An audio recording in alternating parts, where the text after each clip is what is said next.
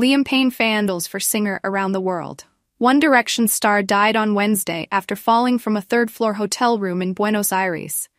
Outside St. Peter's Church in Wolverhampton, people gathered on Sunday to look at the balloons, bouquets, and candles left in tribute to the One Direction star Liam Payne, whose hometown was part of a worldwide outpouring of grief arranged by fans over the weekend.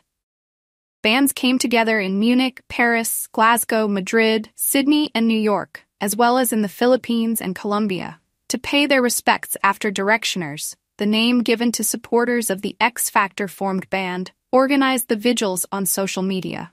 In London's Hyde Park, hundreds of fans released balloons beside the Peter Pan statue in Kensington Gardens.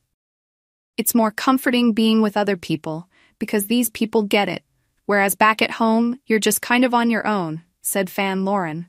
It's quite tough. You're stuck in your own thoughts. You're stuck in your own thoughts, and here you can talk about it. Payne died on Wednesday after falling from a third floor hotel room in Buenos Aires. Shortly after the news broke, hundreds of fans gathered in the Palermo area of the Argentinian capital, while others turned up at the Casa Sur Hotel where Payne died, with The Guardian reporting that a quiet disbelief hung over the street. Those scenes were replicated on Sunday around the globe as Payne and One Direction fans gathered en masse to remember the pop star, who was 31. Mourning fans in Munich left flowers, handwritten messages, and photographs of the star in the shadow of the Olympic Stadium, while in Paris, a makeshift shrine was constructed in the Tuileries Garden. The public gardens next to the Louvre and the River Seine. Others sang the group's biggest hits, including What Makes You Beautiful, in unison. The gatherings happened on the same day that Britain's Got Talent auditions restarted in Blackpool after they were rescheduled following Payne's death.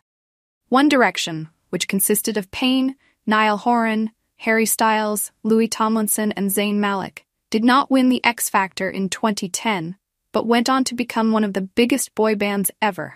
Malik announced on Saturday that he would postpone the US leg of his tour, posting on X that he was making the decision given the heartbreaking loss experienced this week. The dates are being rescheduled for January, and I'll post them as soon as it's all set in the next few days, he said. Your tickets will remain valid for the new dates. Love you all and thank you for your understanding. One Direction went on an indefinite hiatus in 2016, with Payne starting a solo career the following year.